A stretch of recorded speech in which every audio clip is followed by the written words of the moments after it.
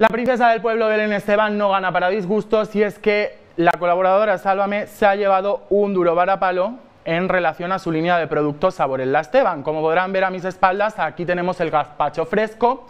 entre muchos otros productos, porque además también tiene salmorejo, cremas variadas de verdura e incluso patatas fritas. Pero es que parece ser que la marca Sabores de la Esteban no está bien vista por la Organización de Consumidores y Usuarios.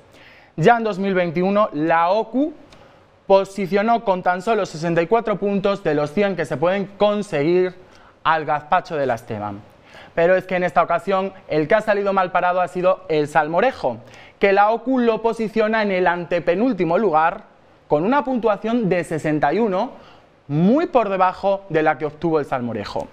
Los motivos que da la organización aseguran el alto precio de los productos de la Esteban, porque para quererte hacer con un gazpacho o con un salmorejo tendrás que pagar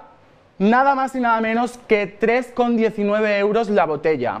un precio bastante desorbitado que no tiene nada que envidiarle a otros productos similares de la marca Alcampo.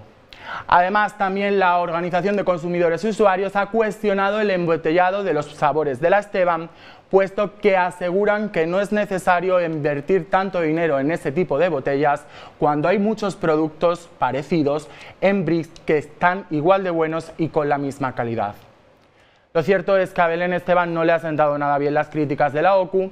y además está bastante enfadada. Pero como ya saben, ella se escuda y se ampara en su aclamado público para así recibir el calor de sus más fieles palmeros. No sabremos cómo quedará el asunto de los sabores de la Esteban, pero lo cierto es que su cuestionamiento hace que no esté muy bien visto ahora mismo por los consumidores. Sabremos más noticias en breve, pero de momento, como ya saben, la Esteban tendrá que hacer frente a unas duras acusaciones que desde luego no han dejado muy buen lugar a la empresa de la colaboradora.